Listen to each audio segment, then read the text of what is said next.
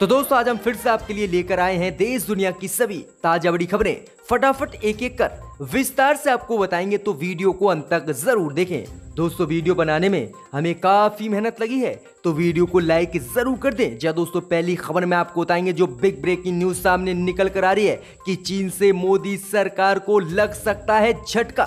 Satellite image से हुआ बड़ा खुलासा। चीन ने चोरी छुपे, उत्तराखंड में तैनात कर दी अपनी फौज। वहीं भारत को भी दे डाली धमकी, कहा एक इंच, ज़मीन नहीं छोड़ सकते। इस बीच अगली खबर में आपको बताएँगे कि देश में बेरोजगार ने मोदी और योगी सरकार की उड़ाई नींद। वहीं आपको बताने कि मोदी के बाद योगी आदित्यनाथ के वीडियो पर भी आए। ज़बरदस्त रिकॉर्ड तोड़ डिसलाइक तो राहुल गांधी ने भी बोल दिया हमला, कहा लाइक कमेंट बंद कर सकते हैं, लेकिन देश की युवाओं की आवाज़ नहीं। इसी बीच अगली खबर में आपको बताएँगे कि असुद्दीन उवैसी ने भारत, चीन तनाव को लेकर रक्षा मंत्री राजनाथ सिंह पर बोल दिया जोरदार हमला। कहा, ये नहीं ले पाएँगे चीन से। हमारी एक हज़ार वर्ग किलोमीटर कब्जा की हुई ज़मीन। इनमें नहीं है इतनी ताकत। इस बीच अगली खबर में आपको बताएँगे कि उत्तर प्रदेश के मुख्यमंत्री योगी आदित्यनाथ ने गाय पालने को लेकर कर दिया बड़ा ऐलान। उत्तर प्रदेश में बेसहारा गाय पालने पर प्रत्येक व्यक्ति को मिलेंगे नौ सौ रुपये। अगर दो पालोगे तो योगी सरकार देगी अठारह सौ रुपये। तो योगी ने कर दिया है। बड़ा ऐलान। इसी बीच अगली खबर में आपको बताएँगे कि भारत, चीन तनाव के बीच पाकिस्तान ने कर दिया भारत पर हमला। जम्मू कश्मीर के हंदवाड़ा में पाकिस्तान गोलाबारी में भारत का एक जवान शहीद। दो हो गए हैं बुरी तरह से घायल। तो भारत को घेरने की चारों तरफ़ से है इन देशों की तैयारी। इस बीच अगली खबर में आपको बताएँगे कि आज़म खान पर योगी सरकार का फिर कसा सिकंजा। नखलऊ नखलऊ और गाजियाबाद में बने हज हाउस के निर्माण की जाँच कराने के योगी ने दे दिया आरोप। कहा करोड़ों का इसमें किया है आज़म खान ने घोटाला। इस बीच अगली खबर में आपको बताएँगे कि ट्रस्ट ने कर दिया बड़ा ऐलान। अयोध्या में बाबरी मस्जिद के बराबर आकार और बिल्कुल बाबरी मस्जिद की तरह ही बनेगी। नई मस्जिद किसी तरह से नहीं किया जाएगा इसमें। बदलाव, इसी बीच अगली खबर में आपको बताएँगे जो बिग ब्रेकिंग न्यूज़ सामने निकल कर आ रही है कि कन्हैया कुमार की नाइट टच छीनने के लिए दाखिल याचिका को हाई कोर्ट ने किया खारिज। वहीं भक्त पर लगाया पच्चीस हज़ार रुपए का उल्टा जुर्माना। तो दोस्तों, सभी खबरों को विस्तार से एक एक कर आपको बताएँगे तो वीडियो को अंत तक ज़रूर देखें। इसी बीच बढ़ते दोस्तों, पहली खबर की ओर जो बिग ब्रेकिंग न्यूज़ सामने निकल कर आ रही है कि चीन से मोदी सरकार की फिर बड़ी मुश्किलें। चीन ने आज उत्तराखंड में बड़ी संख्या में भारत के खिलाफ फौज को कर दिया तैनात। वहीं रक्षा मंत्री राजनाथ सिंह के बयान के बाद दे डाली भारत को खुली धमकी जी दोस्तों आपको बता दें। ये बड़ी खबर सामने निकल कर आ रही है कि एलएसी पर अब चीन और भारत के हालात सीधे युद्ध की तरफ़ इशारा कर रहे हैं। इस बीच बड़ी खबर सामने निकल कर आ रही है कि भारत और चीन के रक्षा मंत्रियों के बीच बैठक हुई और इस बैठक के कुछ ही घंटे बाद चीन ने भारत को युद्ध की खुली धमकी दे दी और कहा वह अपनी एक इंच भी ज़मीन नहीं छोड़ सकता। वहीं आपको बता दें कि चीन की साजिश का एक नया खुलासा हुआ है। सैटेलाइट इमेज से खुलासा हुआ है कि उत्तराखंड के पिथौरागढ़ से महज 12 किलोमीटर दूर चीन ने बम बारूद लेकर अपनी सेना को खड़ा कर दिया है और बड़ी संख्या में यहाँ चीनी फौज पहुँच रही है। लंबी लड़ाई लड़ने के लिए चीन ने यहाँ स्थायी बेस कैंप भी बना दिए हैं, जो अब लद्दाख से भी बड़ा खतरा भारत के लिए बन गए हैं। वहीं आपको बता दें कि भारत को चारों तरफ़ से चीन एलएसी पर घेर रहा है और फिर भारत पर हमला करेगा। तो ये बड़ी खबर सामने निकल कर आ रही है कि अब भारतीय सीमा से महज 12 किलोमीटर दूर चीन ने अपनी सैन्य चौकियाँ बनाई हैं और भारी संख्या में अपने सैनिकों, हर हथियारों को जमा कर रहा है। भारत के खिलाफ युद्ध के लिए ये बड़ी खबर सामने निकल कर आ रही कि उत्तराखंड में किस तरह से चीन नई चाल चल रहा है। इसी बीच बढ़ते दोस्तों, अगली खबर की ओर तो मोदी सरकार का, देश के युवाओं ने किया बहिष्कार। अब प्रधानमंत्री मोदी के बाद योगी आदित्यनाथ के वीडियो पर भी आए। रिकॉर्ड तोड़ डिसलाइक वहीं राहुल गांधी ने भी बोल दिया हमला। कहा लाइक कमेंट बंद कर सकते हैं बीजेपी के लोग। लेकिन देश की जनता की आवाज़ नहीं। जय दोस्तों, आपको बता दें कि इन दिनों बीजेपी पूरी तरह से घिरी हुई है और देश की जनता लगातार बीजेपी का बहिष्कार कर रही है। इसका जीता जागता उदाहरण प्रधानमंत्री मोदी का। हाल ही में यूट्यूब पर अपलोड हुआ वीडियो, जिस पर रिकॉर्ड तोड़ डिसलाइक आए। इसके बाद मोदी सरकार ने योगी आदित्यनाथ के वीडियो को कल अपलोड किया। इसमें भी रिकॉर्ड तोड़ डिसलाइक आए हैं। जिसके बाद योगी सरकार ने लाइक कमेंट करने वाले ऑप्शंस को ही बंद कर दिया है। अब इसी को लेकर राहुल गांधी ने बीजेपी पर निशाना साधते हुए कहा कि लाइक कमेंट बंद कर सकते हैं। देश की जनता की आवाज़ नहीं। जय दोस्तों, आपको बता दें कि इन दोनों परीक्षाओं और युवाओं के रोज़गार और देश की तबाह हुई अर्थव्यवस्था को लेकर राहुल गांधी लगातार हमला बोले हैं। वहीं आपको बता दें कि एक बार फिर से आरआरबी परीक्षाओं के संदर्भ में अपनी बात रखते हुए राहुल गांधी ने मोदी सरकार पर हमला बोला। राहुल गांधी ने ट्वीट कर लिखा कि वो डिसलाइक कमेंट बंद कर सकते हैं यूट्यूब पर से, लेकिन देश की युवाओं की आवाज़ नहीं। हम आपकी बात दुनिया के सामने रखेंगे। हमने अपने ट्वीट में आरआरबी एग्ज़ाम डेट्स का इस्तेमाल भी किया है। आपको बता दें कि छात्र लगातार मांग करें कि मोदी सरकार भर्ती निकाल देती है। तो परीक्षा का पता नहीं और परीक्षा हो जाती है तो रिज़ल्ट का पता नहीं और रिज़ल्ट आ जाता है तो ज्वाइनिंग का पता नहीं। तो इसी बीच बढ़ते दोस्तों अगली खबर की ओर जो बिग ब्रेकिंग न्यूज़ सामने निकल कर आ रही है कि असुद्दीन ओवैसी ने भारत और चीन तनाव को लेकर राजनाथ सिंह और बीजेपी पर बोला जोरदार हमला। कहा इन लोगों ने देश को कर दिया कमज़ोर। जय दोस्तों, आपको बता दें।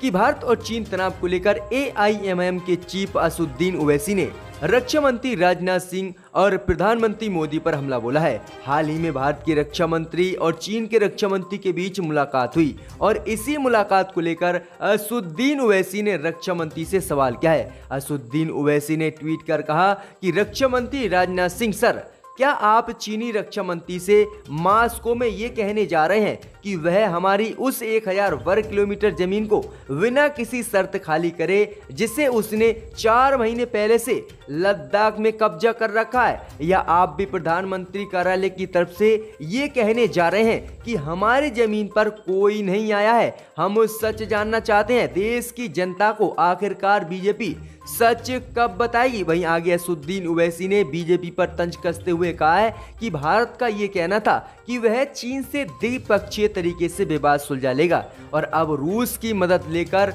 आपने भारत को कमज़ोर कर दिया। अगर आप चीन से एक विजय युद्धा के रूप में बात करते तो इससे आपको फ़ायदा मिलता। लेकिन आपने उनसे ऐसे बात की जैसे आप चीनी सेना के सामने। हार गए हो और आपको चीन से डर लगता हो तो किस तरह से? असुद्दीन ओवैसी ने भारत और चीन तनाव को लेकर केंद्र की मोदी सरकार और रक्षा मंत्री पर ही सवाल खड़े कर दिए हैं। इसी बीच पर तो दोस्तों, अगली खबर की ओर तो उत्तर प्रदेश के मुख्यमंत्री योगी आदित्यनाथ ने गाय को लेकर किया बड़ा ऐलान। उत्तर प्रदेश में बेसहारा गाय को पालने वाले व्यक्ति को नौ सौ रुपए प्रति महीना देगी योगी सरकार। कर दिया बड़ा ऐलान। जय दोस्तों, आपको बता दें।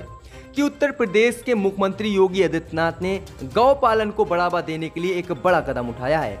योगी आदित्यनाथ ने उत्तर प्रदेश में बेसहारा गायों को पालने के इच्छुक रखने वाले लोगों को प्रति गाय नौ सौ रुपये महीने देने का ऐलान कर दिया। यानी अगर आप उत्तर प्रदेश में कोई बेसहारा गाय को पालते हो तो योगी सरकार आपको नौ सौ रुपये प्रति महीना देगी। अगर आप दो गाय पालते हो तो आपको अठारह सौ रुपये प्रति महीना योगी सरकार गाय पालने के दे रही है। तो किस तरह से आज योगी सरकार के सामने साठ साल के किसान और गाय में बहुत फ़र्क हो गया। जो साठ साल से देश को अनाज उगाकर देश की सेवा कर रहा है किसान लेकिन उसकी पिल्सन की योगी सरकार कोई फि, कोई फ़िक्र नहीं है और उसकी पिल्सन 500-600 रुपए प्रति महीना देती है। लेकिन अगर आप किसी एक बेसहारा जानवर यानी गाय को पालोगे तो नौ सौ रुपए प्रति महीना एक के पालने पर योगी सरकार दे रही थी। आज योगी सरकार की नज़रों में इंसान से ज़्यादा गाय की कीमत हो गई है तो ये बड़ी खबर है कि योगी सरकार एक गाय को पालने पर नौ सौ रूपए प्रति महीना देने वाली है। इसी बीच तो दोस्तों, अगली खबर की ओर तो सुशांत सिंह राजपूत सुसाइड केस को लेकर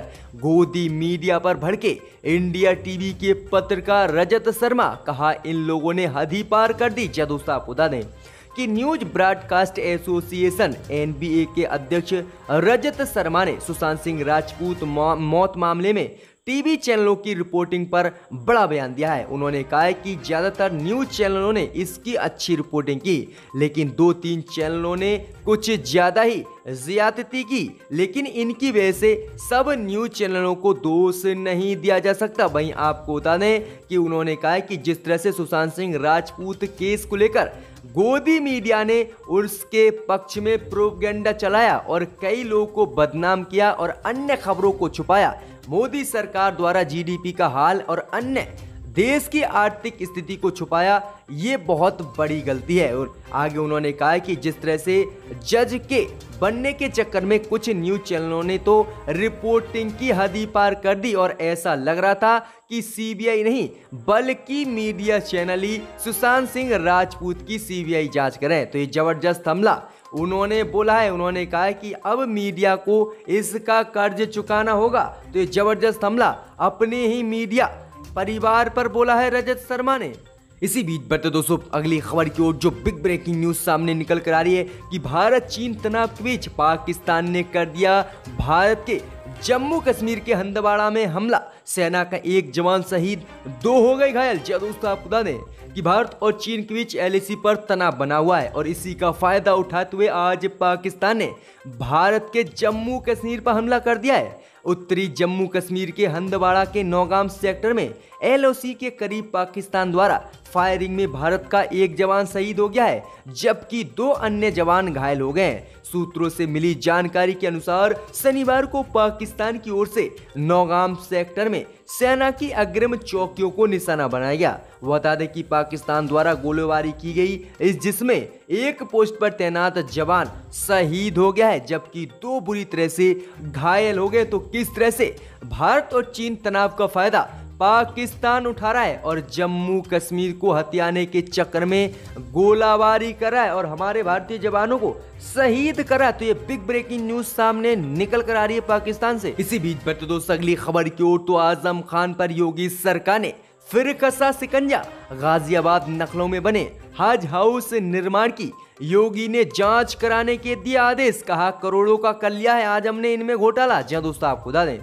कि उत्तर प्रदेश की योगी सरकार समाजवादी पार्टी के नेता आज़म खान की मुश्किलें और बढ़ाने वाली है। अब गाजियाबाद और नखलों में बने हज हाउस के निर्माण की जाँच योगी सरकार ने कराने की आज इजाज़त दे दी है। सूत्रों की माने तो योगी सरकार ने आज़म खान पर आरोप लगाया है कि हज हाउस बनवाने के निर्माण कार्य में आज़म खान ने बहुत बड़ी गड़बड़ियाँ की हैं और करोड़ों रुपए का इसे बनवाने में घोटाला किया है। अब योगी सरकार इसका खुलासा करने की तैयारी में है और उत्तर प्रदेश में जाँच के लिए भी आज़म खान के खिलाफ एसआईटी योगी सरकार ने बना दिया तो ये बड़ा आदेश है कि योगी सरकार किस तरह से आज़म खान पर झूठे मुकदमे लगवाकर उन्हें जेल में रखे हुए हैं, लेकिन अब उन पर एक और सिकंजा कसा जा रहा है। इसी बीच बढ़ते दोस्तों, अगली खबर की ओर तो ट्रस्ट ने किया बड़ा ऐलान। अयोध्या में बाबरी मस्जिद के बराबर आकार की बनेगी नई मस्जिद। जय दोस्तों, आपको बता दें कि जिस तरह से अयोध्या में बाबरी मस्जिद को तोड़कर वहाँ मंदिर बनाया गया और उस मस्जिद की जगह अयोध्या के धन्यपुरा में दे दी। अब इसी बीच खबर सामने निकल कर आ रही है कि अयोध्या बाबरी मस्जिद के ट्रस्ट ने ऐलान किया है कि जो बाबरी मस्जिद का आकार था, उतने ही बीच में धन्यपुरा में नई मस्जिद को बनाया जाएगा। इस मस्जिद में अस्पताल, पुस्तकालय और संग्रहालय आदि होंगे। ये जानकारी ट्रस्ट ने एक पद अधिकारी ने दी है। यानी आपको बता दें कि जैसी मस्जिद अयोध्या में बनी हुई थी और जितने बीच में, जितनी जगह में ये मस्जिद बनी हुई थी, उतनी ही जगह में अयोध्या के धन्नीपुरा गाँव में नई मस्जिद अयोध्या की मस्जिद का ट्रस्ट बनाएगा और इसका ऐलान आज कर दिया है कि अयोध्या की तरह ही बाबरी मस्जिद जो नई है वो बनेगी और बिल्कुल उतने ही बीच में बनाई जाएगी। तो ये बड़ा ऐलान कर दिया है ट्रस्ट ने इसी बीच पर तो दोस्तों, अगली बड़ी खबर की ओर तो कन्हैया कुमार की टच छीनने के लिए दाखिल याचिका कोर्ट ने की खारिज। भक्त को लगाया पच्चीस हज़ार रुपए का जुर्माना। जय दोस्तों, आपको बता दें कि जवाहरलाल नेहरू यूनिवर्सिटी और छात्र संघ के पूर्व अध्यक्ष कन्हैया कुमार की भारतीय नागरिकता छीनने की मांग को लेकर इलाहाबाद हाईकोर्ट में भक्तों द्वारा याचिका दाखिल की गई थी। कोर्ट ने कन्हैया कुमार की नागरिकता छीनने वाली याचिका को आज खारिज कर दिया। इतना ही नहीं, इलाहाबाद हाई कोर्ट ने जिस व्यक्ति ने याचिका दाखिल की थी, उस शख्स पर पच्चीस हज़ार रुपये का जुर्माना भी लगाया है, जिसके बाद भक्त की निकल पड़ी। वहीं आपको बता दें कि कोर्ट ने याचिकाकर्ता पर जुर्माना लगाते हुए कहा कि इस तरह की फिजूल याचिकाओं से कोर्ट का समय बर्बाद हुआ है। वहीं आपको बता दें कि इसीलिए इन पर पच्चीस हज़ार रुपये का जुर्माना लगाया है और तीस दिनों के भीतर इस भक्त को जमा करने के कोर्ट में आदेश भी दे दिए हैं जुर्माना। तो किस तरह से ये बड़ी खबर सामने निकल कर आ रही कि अगर कोई व्यक्ति देश में लोकतंत्र के लिए आवाज़ उठाता है तो उसे देशद्रोही या फिर पाकिस्तानी बोल दिया जाता है। लेकिन कोर्ट ने निष्पक्षता से फैसला सुनाते हुए भक्त को पच्चीस हज़ार रुपये का जुर्माना ही लगा दिया और याचिका को खारिज कर दिया। जिस तरह से अब इन भक्तों की मानसिकता में बदलाव होगा। ज़िम्मेदारी